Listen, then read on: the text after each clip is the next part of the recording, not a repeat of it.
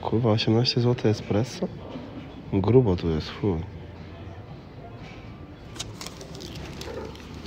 Dobra. Idziemy. My nieświadomi cen, kurwa. Ja z tym Franiem nie, nie chodzę już po knajpach, bo on wybiera takie, że chuj. Śnieżka.